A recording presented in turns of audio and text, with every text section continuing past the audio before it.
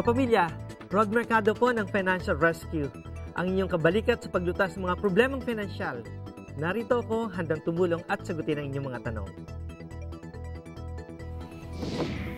Makaka-apekto ba sa credit score ang identity theft?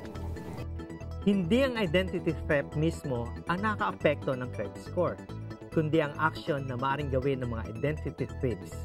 Katulad na lang ng pag-charge sa iyong card ng mga products o services o pag-open ng mga account sa iyong pangalan at paggamit ng credit nito na hindi mo naman talaga kayang bayaran.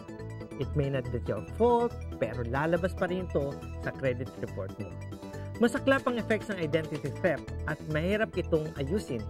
Kaya napakahalaga na i-track mo regularly ang iyong credit report o hindi kaya i-check mo ang mga bank accounts mo from time to time. Sana po ay nakapagbigay linaw kami sa inyong mga katanungan Gamitin po natin ang ating mga natutunan tungkol sa personal finance upang maayos at mapaganda pa ang takbo ng ating buhay pinansyal. Kasama ng lahat ng staff ng Financial Rescue, ako ay nagpapasalamat sa patuloy ninyong pagtitiwala at pagsuporta sa aming serbisyo. Kaya kung kailangan ninyo ng tulong, bisitahin po ninyo ang aming website, makipag-chat, tumawag o di kaya mag-email sa amin. Kung ginhawa sa problemang pinansyal ang inyong kailangan, tandaan, financial rescue lang at wala nang iba.